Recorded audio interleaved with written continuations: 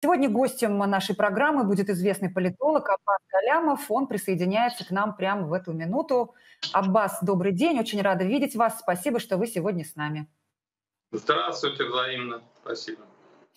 Давайте начнем с новости, которая пришла буквально час назад. Э, в Мосгорсуд поступили материалы уголовного дела Алексея Навального, и стало понятно, что теперь его обвиняют не по одной статье, а по семи. То есть, э, если до этого он обвинялся по статье о создании экстремистской организации, то теперь э, к этому обвинению прибавились еще обвинения э, в призывах к экстремизму, создание НКО, посягающие на права граждан, финансирование экстремизма, реабилитации нацизма и вовлечение несовершеннолетних в совершение опасных действий. Я напомню, что Навальный уже отбывает девятилетний срок по обвинению в мошенничестве и неуважении суду. Этот срок ему дали в марте 2022 года. Как думаете, для чего понадобилось еще столько статей? Э, пытаются сделать 25 лет, как Карамурзе, я правильно понимаю? Ну, большого большого смысла в этом, наверное, нет. Я думаю, это результат э, того, что вот э, репрессивная машина в отношении него запущена. Э, большое количество людей занимается Навальным. Как минимум десятки, если не сотни, в разных ведомствах. Вот. И поскольку вот общее такое базовое решение о том, что там асфальт надо закатать, принято, ну вот они закатывают, отрабатывают свои зарплаты, проще говоря. Ну, то есть э, сидят и шьют э, дела. И, может быть, э, имеет смысл остановиться, вернее, с точки зрения постановки политтехнологической, конечно, надо остановиться давно. Постановка Навального в повестку не отвечает интересам властей. То есть власти просто в очередной раз напомнят всем, что это репрессивное общество, репрессивная страна, репрессивная власть. Это работает э, против власти. По-настоящему ведь репрессии одобряют э, не так много россиян. Это миф, что они все там любят одобрять репрессии. А, одобряют репрессии, ну там 7-8%, э, не больше. Даже если помножить на нынешнюю, так сказать, военную истерику, ну окей, ну чуть, ну будет ну, 15, там в два раза больше, да.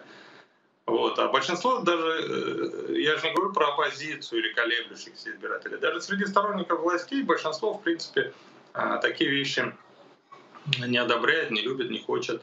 А, и, и поэтому лучше, в принципе, конечно, этого не, не делать, но а, надо понимать, что власть многое делает э, по причинам не политтехнологическим, а таким аппаратным. Ну, то есть каждый выслуживается, проще говоря. Вот Навальный враг, мы знаем, значит. Вот, вот все, контора пишет, что называется. Вот контора пишет, а и нет э, человека, который в состоянии был бы сказать, все, это уже против нас работает, хватит дурака валять. Ну, то есть это Путин мог бы сказать, но Путину не до этого, да и не хочет. Э, вот. А все остальные, они выполняют когда-то данное поручение закатывать э, в асфальт. А вот как это получается. А вы думаете, это не личное поручение Путина, для которого Навальный враг номер один? Ну, когда это же он наверняка вопрос... дает указания. Это, это не то, что вот новое, давайте, типа, тех старых э, сроков мало, давайте новый. Ну, я не, не исключаю, что и этот, может быть, и этот тоже есть, то есть он просто э, злится, психует, он, он понимает, что все идет не так, как надо. Э, дотянуться до Зеленского руки короткие, но Навальный вот рядом, э, да, и поэтому а, а, а, этим, а этим пользуется масса вот всяких лизоблюдов, условно говоря, Патрушев, там, преданно заглядывая в глаза, значит, чтобы вот отвлечь внимание шефа от э, там, своего провала, например, а, в части стабилизации фронта в районе Бахмута, там, Пригожин берет и уходит как, как хочу, прихожу, хочу, ухожу, там, да. Патрушев не может его остановить, не может ничего с ним делать. Или, например, провал э, в Белгороде, например. Да, провалов что, не хватает, что ли? Кремль обстреляли, вон там э, этих э, пропагандистов взрывают чуть ли не каждый месяц там в тылу. А, вот. И вот надо что-то шефу такое там вот, преподнести, чтобы отвлечь внимание от всех этих проблем. И вот он, угодливо заглядывая в глаза, там, Владимир Владимирович, кстати, тут, в общем, наши исследователи накопали, там же еще полный состав преступлений, там еще и это, и это, и, и зеленое знамя исламов, значит, э, под, под подушкой. Помните, он, а, дескать, Коран собирался читать, да? Вот экстремизм чистой воды, там, э, и совращение малолетних по государственным праздникам и так далее. И вот это все, ну, Путин это слушает, да, давай, дави его. Вот. Ну, то есть психология такая, в принципе, да. Ну, то есть, повторюсь, просто как политтехнолог уверенно говорю, что это властям невыгодно. Ни с точки зрения возвращения Навального в повестку, им надо, чтобы Навальный был забыт напрочь, про него забыли. А из него опять делают, э, значит, хедлайнера. Вот. Mm-hmm. Значит, вот, во-первых, э, с точки зрения контроля над повесткой это контрпродуктивно для власти. Во-вторых, Э, ну, не надо подчеркивать свою репрессивность э, без необходимости. Репрессии должны быть такими, чтобы вот, ну, по минимуму, чтобы было видно, что ну, когда вот без этого нельзя обойтись, да, тогда, ну, понятно, там, может, ничего не попишешь, но не так часто. Ну, то есть большая часть новостей, исходящая от власти, она не должна быть связана с репрессиями, она должна быть связана а, с чем-то позитивным, там, заботой об обществе, например, там, каким-то успехом, там, да. А у них вот что не новость, то, значит, э, какая, какие-то репрессии. То есть это, это работает уже а, против них. Э, это, это сужает базу властей. Вот сейчас база властей ну, условно говоря, там треть где-то, 30% избирателей, 30-33, с моей точки зрения, это примерно вот, а, люди, которые, ну, лояльны еще власти, то есть, ну, в принципе, могут проголосовать за Путина добровольно, без, без фальсификаций. А, вот, а если они так вот сделают репрессивность главной своей характеристикой, если Путин будет представать вот э, перед, э, перед мысленным взором людей, вот при слове Путин а, будут всплывать не то, что это там президент э, народный, что называется, да, любимый когда-то народом, а то, что это кровавый узурпатор и диктатор, значит, который погрузил страну в репрессии, ну тогда в этом случае вот эта база с 30-33 сократится до 7-8. То есть они сами себе в ногу стреляют, строго говоря, вот такими э, действиями. То есть, понятно, Навального надо было посадить э, тогда, в канун думских выборов, когда он из Германии прилетел, потому что действительно не посади его тогда, а, но он реально с помощью умного голосования сделал бы так, обрушил бы рейтинг Единой России настолько, организовал консолидированное протестное голосование так, что ну, реально можно было проиграть э, большинство в Госдуме. То есть большинство в Госдуме единороссы бы не контролировали бы. А, прям ну, сильно, сильно меньше большинства получили бы. А, вот. И, и, и неизвестно, кто там в Думе сидел. И такой другой расклад был бы. То есть все думцы, которые сейчас лояльны, потому что, ну, знаешь, что все равно большинство единороссов, они уже ну, по-другому на ситуацию смотрели. То есть это был риск потерять контроль над э, парламентом. И тогда надо было, конечно, сажать, ну, с точки зрения властей, да. То есть тогда по-другому нельзя было. Вот. А то, что сейчас происходит, это уже такие опциональные репрессии, их можно и не делать. Ну, то есть все равно сидит. В ближайшие годы не, нет оснований предполагать, что он выйдет. А, и тем не менее, вот они это продолжают делать. Это аппаратное соображение, это не соображение политическое, тем более не политтехнологическое. Вы знаете, всякий раз, когда появляются сообщения о том, что того или иного оппозиционера посадили, э, или, допустим, прокурор запросил какой-то безумный срок, э, наша либеральная общественность любит повторять в социальных сетях. Все равно столько не просидит, Путин кончится раньше. А, в этой связи вот хочется вспомнить еще одну новость, которая сегодня пришла. А, заместитель э, главы эм, украинской разведки Вадим Скибицкий э, сказал довольно такую, ну, эпатажную, что ли, вещь. Он сказал, что украинская разведка стремится убить э, Путина и Пригожина. Путин это знает, боится этого. А, и при этом существует еще риск, что Путина могут убить свои. Вот у меня к вам вопрос. Как вы думаете, реально существует ли такая угроза, что Путина могут убить свои, или может, действительно ли может дотянуться до него украинская разведка, и тогда Навальный действительно выйдет, не будет сидеть эти 9 лет, а уж тем более 25, и выйдет гораздо раньше? Ну, скажу так, конечно, поскольку мы с, с Украиной в режиме войны находимся, то риск того, что украинцы убьют Путина, ну, он отличается от нуля, конечно. А, значит, э, ну, в целом украинцы, украинские силовики, в том числе и спецслужбы, демонстрируют, в принципе, такую эффективность, в общем-то, да. Гораздо, они оказались гораздо более эффективны, чем э, мы предполагали до начала войны. Поэтому полностью, так сказать, скинуть от варианта со счетов я не могу. Но все-таки этот вариант, он такой, скорее, теоретический. А, значит, ну, Путин осторожный, а охраняет его хорошо, никаких ограничений в части вот тех а, ресурсов, эм, которыми распоряжается ФСО, обеспечивая безопасность Путина, нет. Он сам не, не какой-то там спонтанный, склонный к риску, там куда-то поехал, там, да, там где-то, значит, э, выступает перед там большими аудиториями.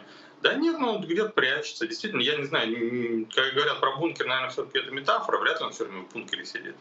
Ну, где-то на защищенных объектах, э, значит, а, случайные люди к нему практически не попадают, даже когда он, э, значит, с с этими родственниками, матерями э, убитых прошлой осенью встречался, помните? Вроде казалось бы, да, вот... Э, псевдоматерями.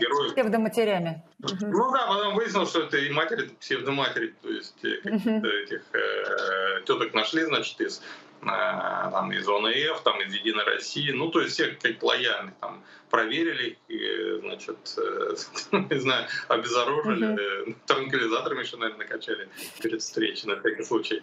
Вот.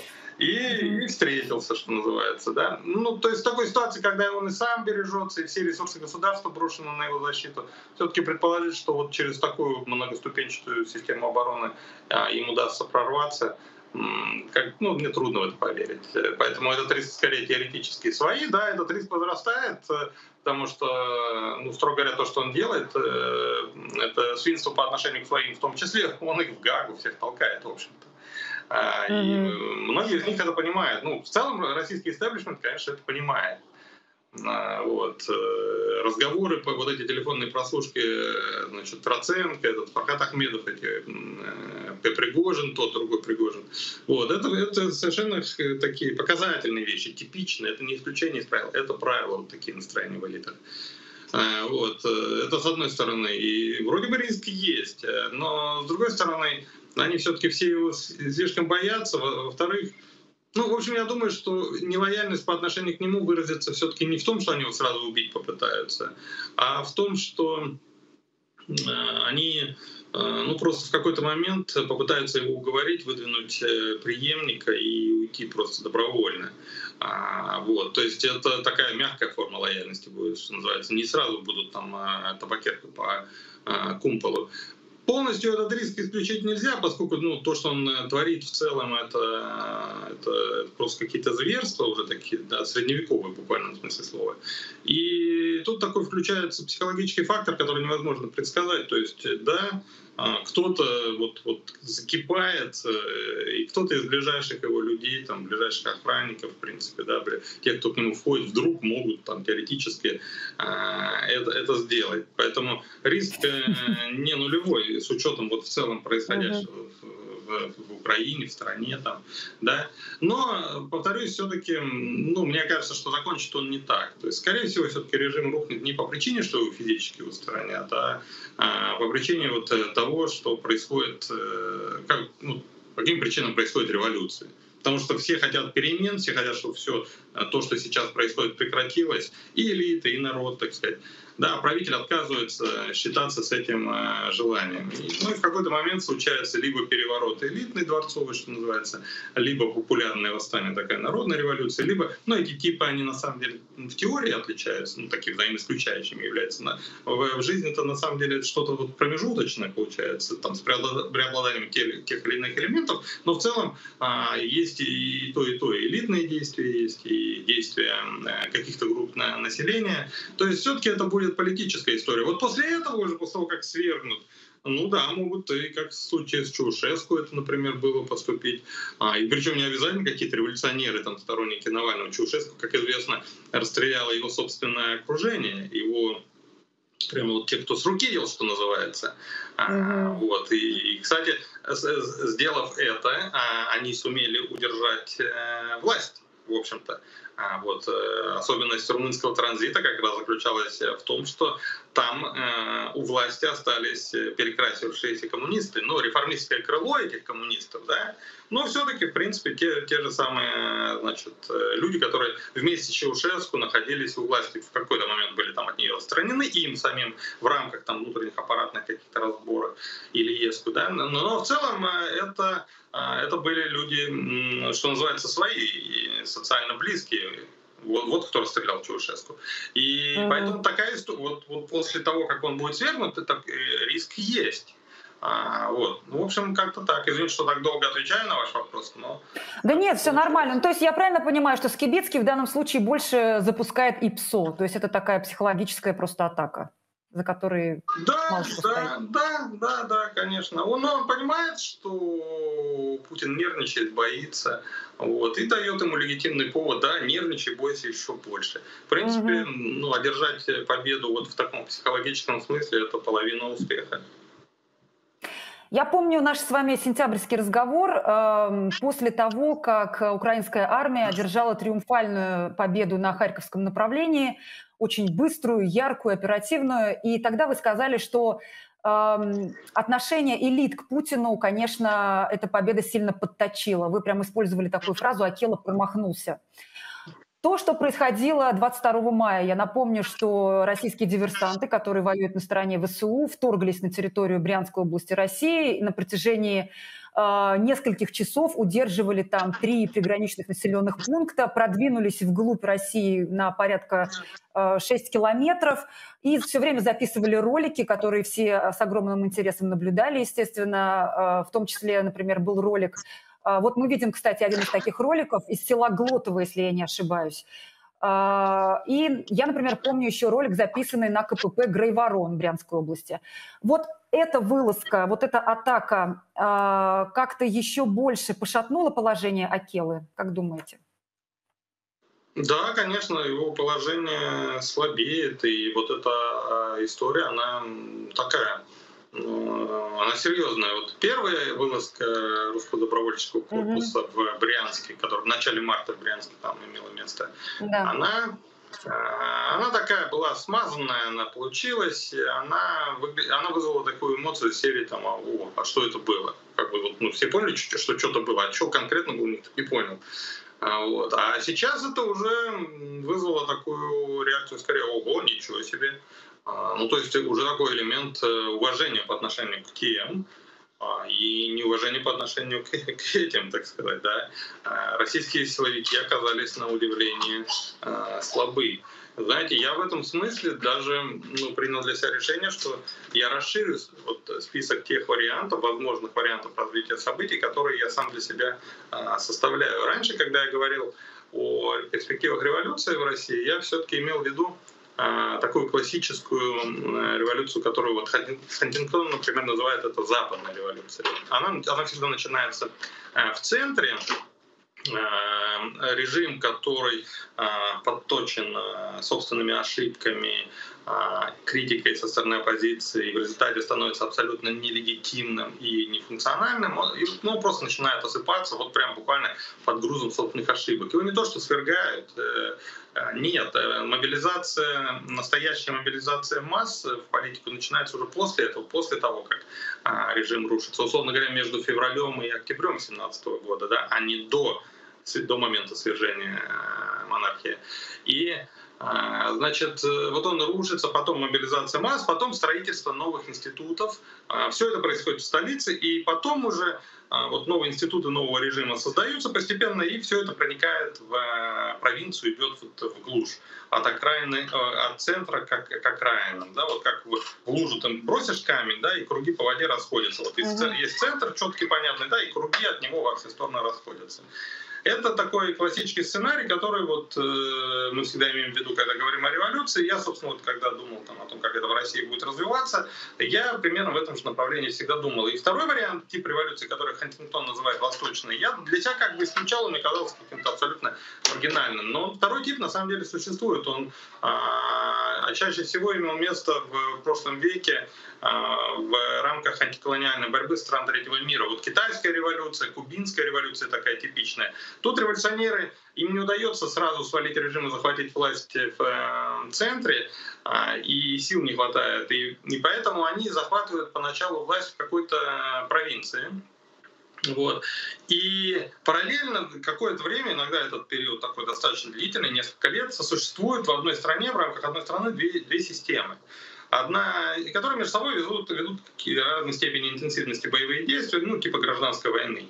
А, и, и параллельно вот эти структуры нового государства и старого, который ран... вот в случае такой централизованной революции, значит, возникает, сначала падает старое, потом возникает новое, а тут они параллельно существуют на разных территориях. И постепенно территория, контролируемая вот этими новыми структурами, через мобилизацию масс, опять же, да, она расширяется. Ну и в конце концов, э, вот э, условный Мао Цзэдун доходит до Пекина, да, и условный Чан Кайши бежит или там сдается, а, или даже свои убивает.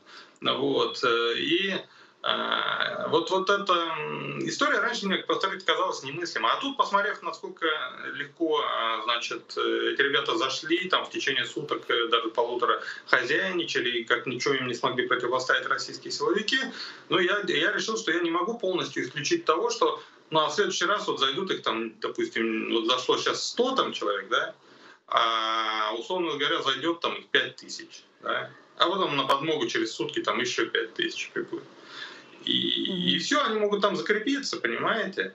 И если это будет территория там нескольких муниципальных районов, а если они сам Белгород захватят, или сделают это где-нибудь в соседнем регионе, в Воронеже там где-нибудь, да, а, в Брянске в том же, в Курске, а, вот. И вот и, и там начнут выстраивать, так сказать, структуры, а, и, и потом начнут постепенно расширять э, границы своего а, влияния. Я, конечно, не все равно по-прежнему далек от того, чтобы говорить, что вот они так дойдут до Москвы. Но и будут штурмовать Москву. Ну нет, это, конечно, вряд ли случится. А, но на самом деле просто это может быть и не понадобится, потому что сам по себе факт, что они закрепились на какой-то территории создали, условно говоря, кусок России без Путина, но а, это само по себе и двигаются успешно, захватывая соседние населенные пункты.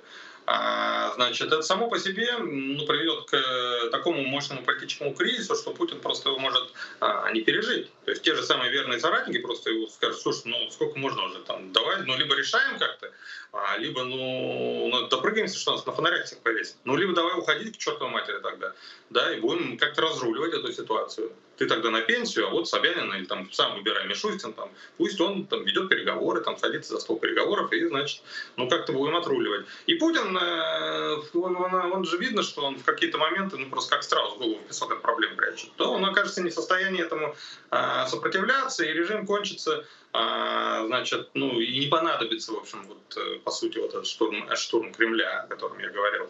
Вот, знаете, я еще за несколько дней до того, как эм, вот эти вот э, события а, произошли, те, о которых мы сейчас говорим, да, mm-hmm. а, значит, вот я написал, что раньше мы, когда говорили о перспективе развала России, о сепаратистских тенденциях, а, о возможном развитии сепаратизма, мы всегда думали в направлении национальных республик. Мы, да. мы, мы исходили из опыта там, вот, э, второй половины 80-х, 90-х годов э, прошлого века, опыта развала Советского Союза. И там, безусловными лидерами были национальные а, республики. А сейчас, вот я, я как раз написал, мне кажется, имеет смысл включить э, в число потенциальных застрельщиков вот эти приграничные регионы, а, как раз вот те, что я сейчас перечислял, Белгород, Курск, там, э, да. Mm-hmm. Дело в том, что они, конечно, пострадали от войны гораздо больше, чем вся остальная территория России, чем Москва в первую очередь. Да, москвичи там нормально ходят в рестораны, у них э, как, как будто войны нет, там, значит, угу. тыквенный латте пьют и так далее. А эти ребята, они, ну, почти как Украина. Понятно, не так, как в Украине, там бучи никакой нету, а, вот. А, но но, но все-таки, в принципе, их бомбят, и они уже год там на нервах, и, а, значит, вы там в Москве э, жируете, значит, а, а я там, у меня, значит, э, поджилки трясутся, что последний домик там на мои скудные сбережения купленный, дачный там, да, разбомбят, и он сгорит, там, он у соседей сгорел уже там, да, и, и, ну и в конце концов и люди там гибнут тоже не так много, как в Украине, конечно, но тем не менее точно больше, чем в Москве. И в целом ведь по отношению к Москве в регионах такие, такие ну, отношения, отношения такое негативное, зависть, себе. нелюбовь, угу. обида. Вот. А тут это еще все легитимизируется. То есть тут формируется ощущение, что Слушайте, вы нас втравили, извините за выражение, вот в будняк какой-то, начали эту войну за каким-то чертом, значит, э, выиграть ее не можете. И нас тут кинули на произвол судьбы. Тут даже военных не поставите на границе, чтобы нас тут оберегали. Значит, вражеские диверсанты заходят и, и что хотят творят тут у нас. Ладно, вроде там вот э, мирных людей там не убивают. А вот если они за Бучу решили отомстить и решили бы тут устроить такое, так и, и пожалуйста, и никаких проблем. Наших защитников-то нету. Тех, что было там немного такое, они бы убивали уже. Ну вот, и такая прям обида. То есть сам Путин там где-то в бункере якобы, да, а, значит, окружил себя там тройным кольцом охраны. А, у него все хорошо. А мы отдувайся за все это. Вот. И поэтому вот, вот, это, вот эти настроения, они в принципе ну, позволяют предположить, что если этот сценарий будет реализовываться, если русский добровольческий корпус действительно будет а, в нужной степени оснащен, обучен, там, укомплектован а, людьми, но в целом сомневаться в возможностях ВСУ, понятно, что я не считаю, что это самостоятельный субъект. Они себя позиционируют, конечно, как самостоятельный игрок. Я думаю, что да, там русские люди, я думаю, служат. Но, конечно, методологически, организационно, там, технически это все завязано на ВСУ. Ну, в целом, ВСУ-то, ну, мы же видим, они демонстрируют высокую боевую эффективность. И Значит, и, значит, РДК теоретически может стать такой же эффективной структурой. И тогда, если они зайдут на эту территорию, путинских силовиков разгонят там, а похоже, что это возможно, судя по тому, что происходило в последние дни, но они там закрепятся, так ну и местное население не будет там партизанскую войну устраивать. Ну да присягнут они этой новой власти. А в конце концов, а что такого? Ну и те русские, эти русские, не какие-то же солдаты НАТО пришли там, да, а, значит, которые Малека Яки требуют. Ну, такие же русские, которые говорят, мы против Путина. Ну, так а что нам за Путина теперь, значит, гибнуть тут в окопах, что ли? Там автомат брать в лес уходить? чтобы он там э, в своем Геленджикском дворце, значит, там откисал, а мы тут за него воевать будем, что ли? Сам, в конце концов, виноват. Люди, вот я логику воспроизвожу этих людей. Сам, сам mm-hmm. виноват. За каким чертом эту войну начал, особенно если воевать не умеешь. Как говорится, Ерема, Ерема, сидел бы ты дома. Но ну вот э, э, Путин, э, строго говоря, коррумпирован, там, о народе не заботится, мы это прекрасно знаем, экономику выстроить не может, уровень жизни падает, значит, э, неравенство растет, э, все деньги Москва забирает. Ну, то есть тут люди, значит, легитимизируя все это происходящее, они вытащат длинный-длинный такой список претензий, которые где-то когда-то слышали в адрес Путина от того же Навального. Вот. Понимаете, когда Навальный звал людей на баррикады, Большинство, поскольку оно на баррикады не хочет, оно делает вид, что оно Навального не слышит. Э, вот. А тут, э, когда аргументы Навального людей не на баррикады зовут, а наоборот дают им аргументы, почему им не надо идти на баррикады бороться с э, РДК, с русским добровольческим, добровольческим корпусом, понимаете? То есть эти аргументы на самом деле гарантируют спокойствие и стабильность, но тогда тут совсем другой калинкор будет. Эти аргументы прям ко двору придутся, понимаете? И в ситуации, когда власть сменится, чтобы легитимизировать свою лояльность новой власти, люди все эти аргументы с удовольствием достанут, Навальный станет главным, так сказать, для них э, авторитет, источник информации. А помните, у него еще дворец там, а помните, у Медведева тосканские виноградники. Вот. Все это вот, значит, э, люди вытащат и, скажут, да не будем мы за Путина воевать. В общем, этот сценарий, я далек от того, чтобы объявить его магистральным, но после того, как вот э, они, на удивление, легко, так сказать, разобрались там с путинскими силовиками, ну, я уже полностью его исключить назвать его полностью фантастическим, я его тоже не, не буду. То есть я решил для себя, что я его буду, так сказать, держать э, в голове как э, такой вариант, э, ну, возможный, который возможен со степенью вероятности отличной от нуля. Я вот, слушая вас, вспомнила, что известный украинский блогер Владимир Золкин, он постоянно троллит, кстати, вот эти вот западные регионы России, называет их Курская Народная Республика, Брянская Народная Республика, ну, по аналогии с тем, как Россия создала ДНР и ЛНР. И я вот подумала, так может быть, когда война закончится, мы же вот все думаем, что в Украине все будет хорошо. Туда потекут инвестиции, ее будут восстанавливать всем миром. А, это будет в итоге процветающая, благоухающая страна. Вот чего о России, наверное, не скажешь. Так, возможно, эти регионы еще и в Украину потом запросятся, я подумала. Скажут, ну, ребят, так мы же всегда жили тут бок о бок, соседушки.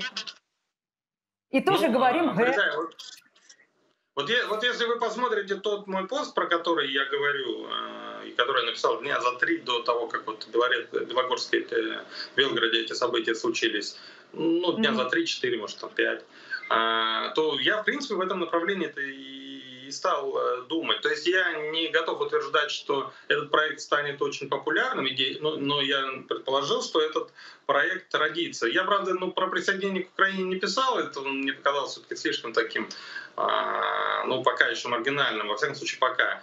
А, я предположил, что они могут э, попытаться создать условную там э, федерацию черноземья, вот эти вот регионы, их там штуки 4-5 где-то, да, там Тамбов, условно говоря, все призовут.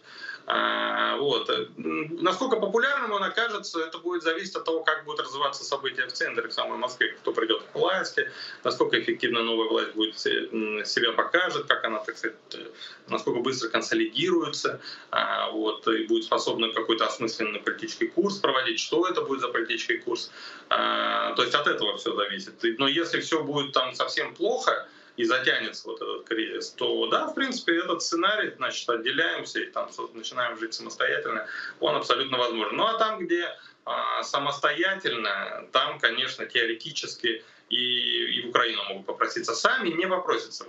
Чтобы там это родилось, я в это не верю. Но сами украинцы, если захотят, они легко, так сказать, это забросят. То есть э, проситься к украинцам после того, что мы там все это наделали, да, Угу. Ну, как бы, ну, ну, прям, ну, просто рука не поднимется. Ну, как вот ты, ты пришел, изнасиловал, убил, ограбил там, да, получил по зубам, оттуда был изгнан с позором, и такой просишься, возьмите меня к себе. Ну, не, не факт, что, ну, мне кажется, не хватит наглости у людей. Да? А вот если украинцы подмигнут и скажут, ребята, давайте к нам, у нас нормально, вы же видите, вот тогда да, тогда, в принципе, как бы могут э, с удовольствием. Ну, тут опять зависит от того, что в Украине будет происходить, насколько сильно то, что там будет происходить, э, можно будет там выдать за гонение на русский язык, русскую культуру и так далее. Условно говоря, если украинцы присоединили Крым и не сделали крымчан людьми второго сорта, теоретически ведь это возможно. Ну, какая-то обида, я, я не сомневаюсь, у какой-то части украинцев есть. То есть мы, значит, все эти годы там а, создавали нормальную, новую нормальную Украину, с нуля отстраивали. Вы тогда сбежали в сложное время, а мы, значит, э, вот остались и создавали новую нормальную Украину. Мы воевали. Мы заплатили огромным количеством э, жертв, разрушений, горя, крови, пота, слез. А, вот. И такие вы к нам приходите, такие, и нормально, давайте жить с вами. Ну, это такие конъюнктурщики, mm-hmm. строго говоря, получается, да? Mm-hmm. Сильной была Россия, они в России. Украина стала сильной, они раз обратно. вот. Ну, соответственно, у украинцев, ну, какой-то части общества, конечно, возникнет такое отношение к крымчанам. И они, а, и, и если режим а, правящий, если власть, политический класс, так сказать, пойдут на поводу этих настроений, и дадут им волю, и действительно крымчане там будут в какой-то степени чувствовать себя такими, а, ну, такими неполноценными, то есть людьми, гражданами второго сорта, если это будет происходить, и об этом будет известно, об этом, конечно, будет известно, ты шил, шил это в мешке не утаишь, то тогда, конечно, ничего вот того, о чем мы говорим, не случится. Да? Ну, то есть э, белгородцы и Воронеж, условно говоря, туда посмотрят, скажут, э, нет, он, он что нас ждет. Нет, не пойдем туда.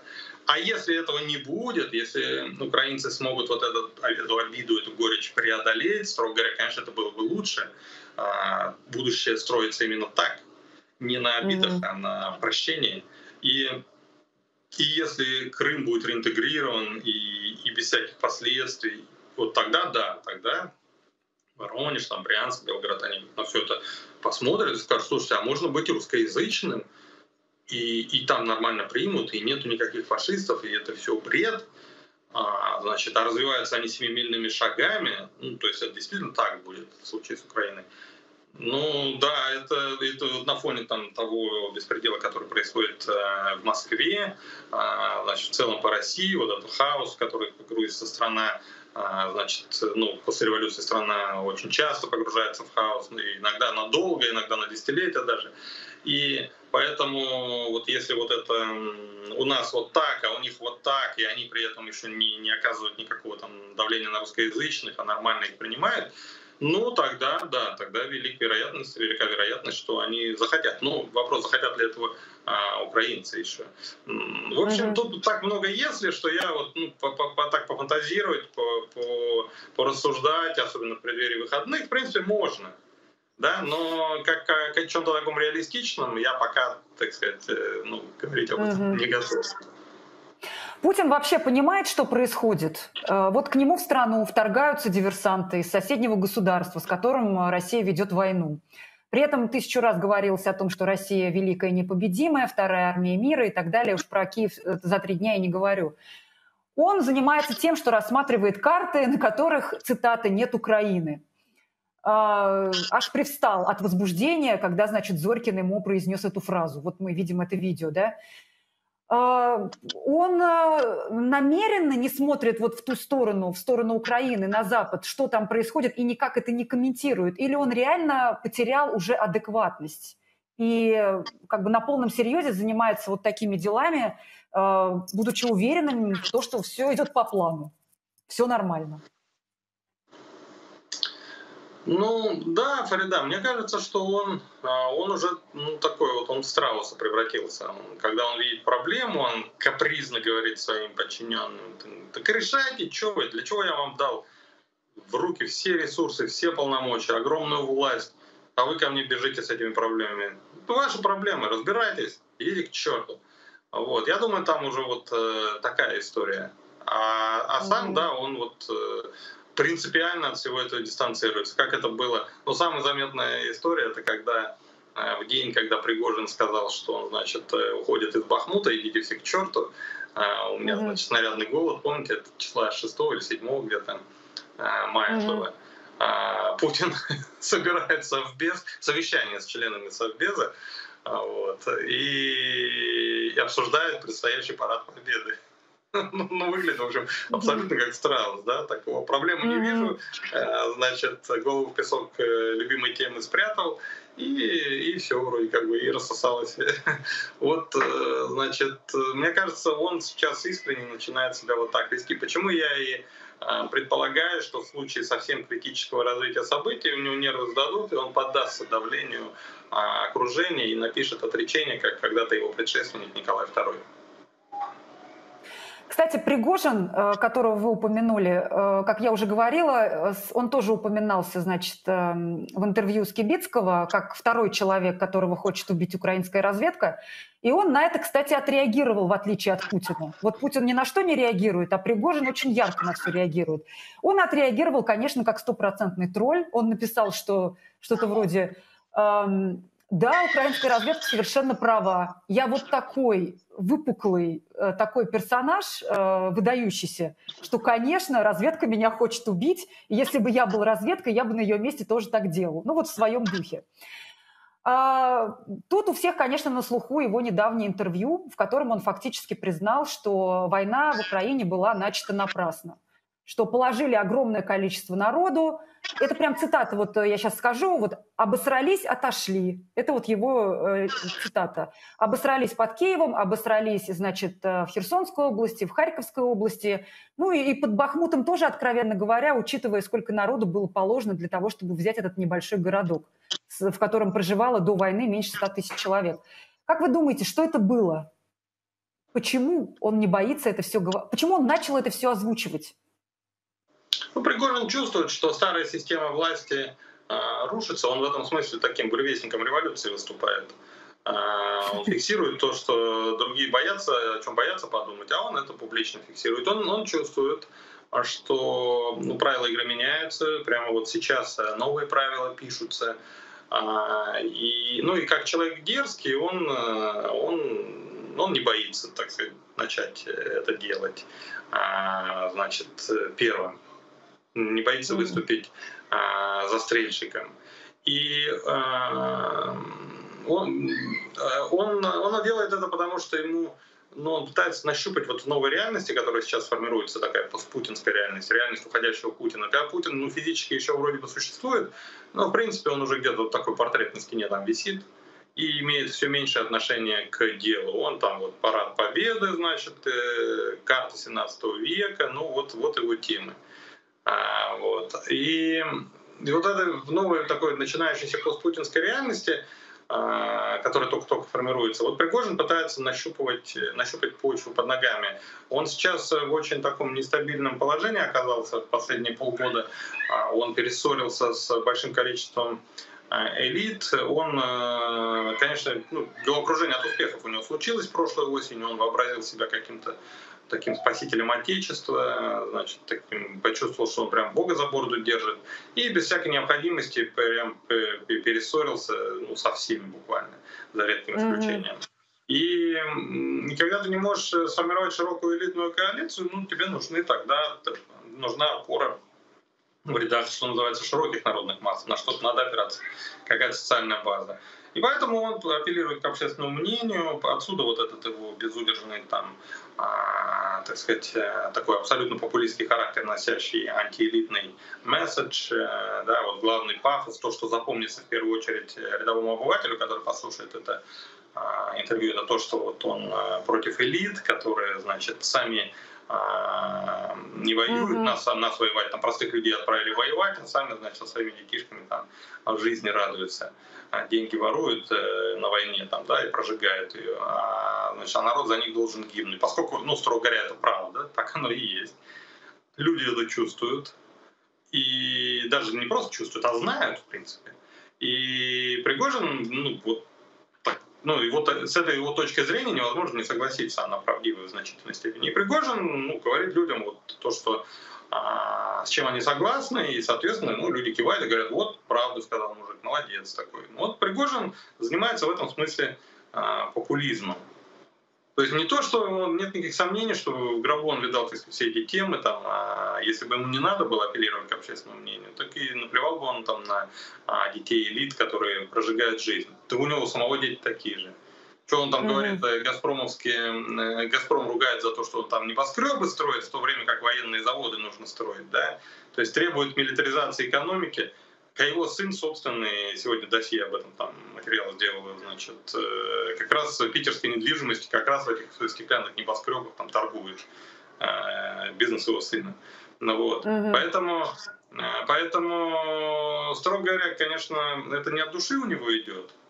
Он просто вот пытается нащупать опору в, в народе, а пытается апеллировать к общественному мнению. Ну, то, что называется популизмом. А, как-то так. А как думаете, вот эти вот его фразы о том, что война была э, начата зря, это в народе может найти какой-то отклик? Народ сам да, склоняется конечно. к этому? Это отвечает, это отвечает э, настроениям людей. Но тут важно, знаете, понимать, вот те фразы, о которых вы говорите, он их, да, действительно произнес, но в целом он же из них не сделал вывода о том, что э, вот логичного, казалось бы, вывода, ну если войну начали мы и войну начали зря, ну так надо остановиться.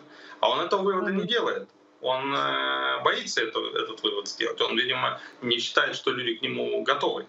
А, вот. Ну или боится пойти все-таки вот в лобовое столкновение с Путиным. Да? То есть он там обход его щиплет, так сказать, по бокам, да? но в лобовую вроде как бы сохраняет лояльность, то есть вроде как незачем его там э, ликвидировать. Э, значит, а то ведь тогда им уже не только украинская разведка займется, но и чекисты. А, вот.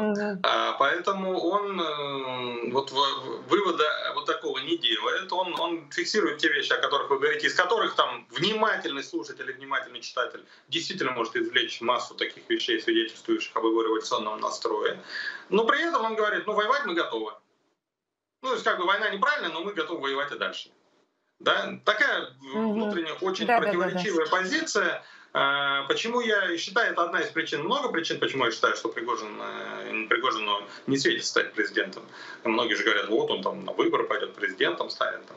А, вот. Ему не светит это по многим причинам, но в том числе и вот по этой причине. То есть он демонстративно отказывается э, заниматься стратегией, делать стратегические выводы. А президент, ну это стратег, если не президент, тогда кто? То есть он как бы демонстративно говорит, Э, да, я считаю, что война зря начата, но мы люди маленькие, нам начальство велело воевать, мы будем воевать. То есть он, он говорит так, раз уж, мы ее, раз уж мы ее начали, надо идти до конца. Вот такая у него мысль. Но, но нет, он ее так не формулирует, кстати. Если бы он ее так сформулировал, там, э, бог бы с ним еще бы ничего было но и да, даже так это не звучит. У него это звучит именно так, что да, там зря начали, там, и сомневаюсь, что они готовили на нас вообще нападение. Он прям демонстративно фыркает и говорит, что, значит, ну не знаю, у меня такой информации типа нету. Ну, то есть видно, что не верит в это. А, вот. А, и потом через какое-то время там, да, мы будем воевать. И И поскольку это противоречие есть, оно не разрешено, а он не, и не пытается его разрешить, то это вот выглядит так, что он просто отказывается это делать. Ну, то есть, не моего ума дело вроде как. Ну, если не твоего ума дело, какой из тебя президент? То есть, а, Пригожин, я думаю, э, вполне легко может выиграть думскую избирательную кампанию. По одномандатному mm. округу вряд ли, а вот э, если он сформирует свою партию и по списку пойдет, то многие за него проголосуют, потому что такой депутат правдоруб, там, да, который там выявляет вот это, там, значит, ложь чиновников, говорит правду. Но это такая хорошая штука с точки зрения людей. Вот за, как за а депутата за него проголосуют. А но набор претензий, требований, которые предъявляет избиратель к президенту, он же отличается от того набора, который предъявляется к депутату. Это не вербализуется, но люди это чувствуют, что ну, там mm-hmm. чуть-чуть другой должен быть президент. Вот. И поэтому, вот, как, вот по крайней мере, исходя из сегодняшнего дискурса, а, значит, э, я уверенно говорю, что вот как президент он, ну, люди за него не проголосуют. Как за депутата, да, 5% он точно возьмет, преодолеет. А чье бы он место занял? Жириновского, отсутствующего? А, ну, отчасти да, а дальше там, ну, там, вот, вот, понимаете, когда ты уже стал депутатом, ты нишу а, как бы, ну, сам будешь формировать, э, расширять. Ну, то есть, чем будешь заниматься, вот такую нишу и займешь. Ну, я ну, имею в виду, он же, Жириновский же тоже был такой яркий, эпатажный тип, который там многое что-то говорил наперед. Вот Путин еще это не сказал, а Жириновский уже почву прощупал. И это тоже что-то типа того. Ну, вот, э, типа такой правдоруб, э, да. То есть он, в принципе, ну, мог бы попытаться, во всяком случае. Но, правда, с точки зрения Значит, вот знаете, чем Пригожин проигрывает Жириновскому, бесконечно ему проигрывает. Жириновский, в принципе, при всем том, что он любил поорать, э, иногда выглядел злым, но, строго говоря, он, он вот как злой не воспринимался. Он чаще все-таки был добродушен, улыбался, шутил там, э, вот, э, в истерике такие скатывался, но, но не так часто. То есть позитивные эмоции он транслировал убедительно.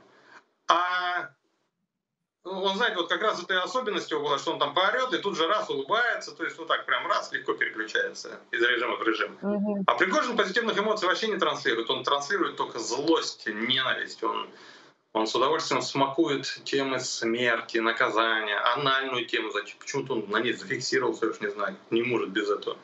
А, а значит, э, вот, вот, ну то есть те вещи, которые, конечно же, массовому избирателю не нравятся. Ну, то есть людям нравится позитив, и мне нравится злость. Вот. И, и в этом смысле он э, проигрывает э, Жириновскому. То есть это такой не просто правдоруб, а такой злой правдоруб. вот. Но тем не менее, я говорю, вот в ситуации нынешнего электорального поля вот, ну, 5% он все равно бы преодолел. Я не говорю больше, но 5% барьер, я думаю, взял бы. Вот. А но в случае с президентом, ну, ну нет. Сегодня уволили, кстати, журналиста, который у него брал вот это вот самое э, скандальное интервью. Долгов, по-моему, его фамилия. Что бы это значило? Это предупреждение самому Пригожину? То есть есть люди, которые не могут э, ничего сделать ему самому, дотянуться до него руки короткие, но вот таким образом дали ему понять, что ты сиди там, так э, громко не выступай.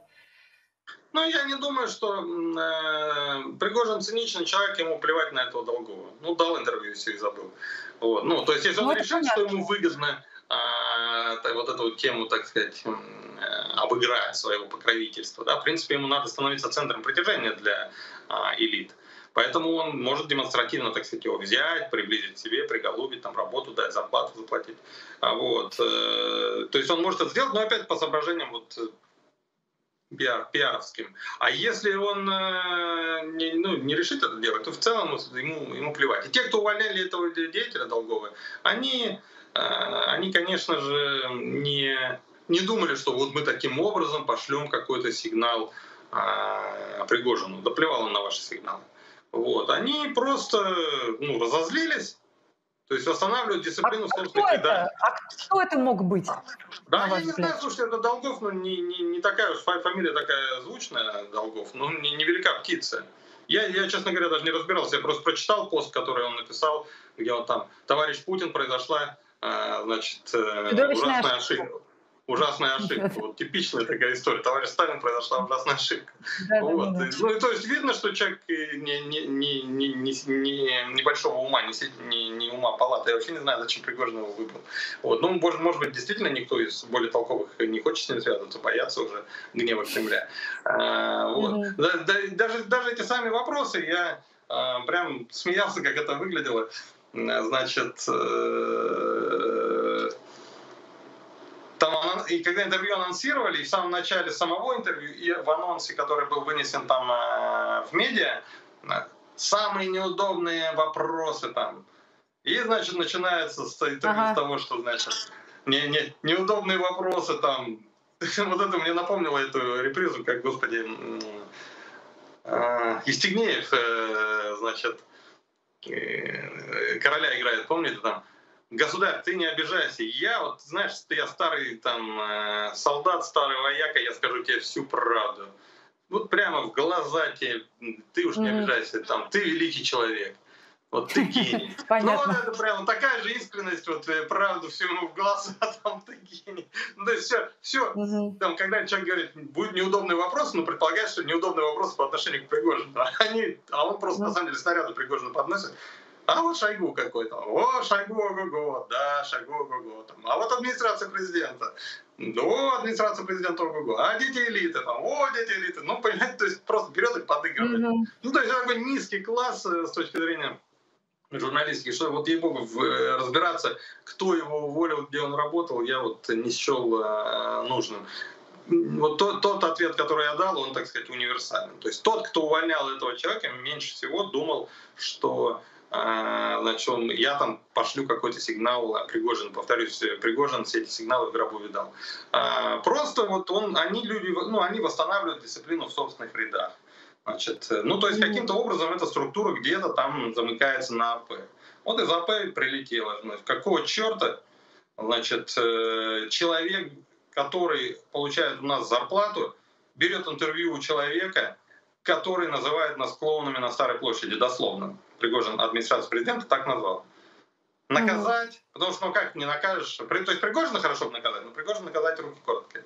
Вот, поэтому вот наказывают бедолагу Долгова. Как говорится, били Фому за Еремину вину. Э, я просто почему спросила, потому что версия такая основная ходит о том, что Пригожин там же очень сильно, как всегда, обосрал э, Шойгу и его семью, что вот это как раз Шойгу, ну то есть генеральская клейка, Шойгу, Герасимов, вот они заказали, убрали Долгова. Не, ну, конечно, если, если у них есть возможность дотянуться до Долгова, да, но э, они, они медиа, строго говоря, не контролируют, медийную поляну их сечет администрация президента, поэтому я думаю, что в первую очередь АП. А у АП свои счеты с Пригожиным, э, им не нужно, значит, помогать Шойгу. Хотя, конечно, не исключаю, что Шойгу бросился к Кириенко, а, плакался, говорил, смотри, как он меня оскорбляет, как он тебя оскорбляет. А этот Долгов я попросил пробить, значит, а он, а он работает в вот этой структуре, которая кормится там с рук, там, вот у, там, у кого-то из твоих. А. Значит, ну и Кириенко говорит, окей, накажем. Ну вот, ну, да, скорее всего, так и было. Вот это интервью Пригожина и все, что вокруг него происходит, и все, что вообще происходит сейчас в России, говорит ли о том, что уже сейчас идет борьба за власть в России – на, эм, после Путина. То есть при живом Путине, при действующем Путине как президенте, уже сейчас за его спиной развернулась борьба за власть. Элементы этой борьбы, безусловно, есть. Эм, но я, наверное, пока поостерегусь говорить, что эта борьба уже а, приобрела такой тотальный всеобщий характер, а, и, и люди только этой борьбой и занимаются. Нет, может быть, кто-то может быть, вот у меня а, возникли подозрения, что все-таки Пригожин подыгрывает э, Сечину и Патрушеву, то есть э, главным ястребом российской политики. И, может быть, они ну, уже всерьез этим озаботились. Я думаю, у них э, кандидат в преемнике — это вот сын Патрушева Дмитрий Патрушев, нынешний министр сельского хозяйства.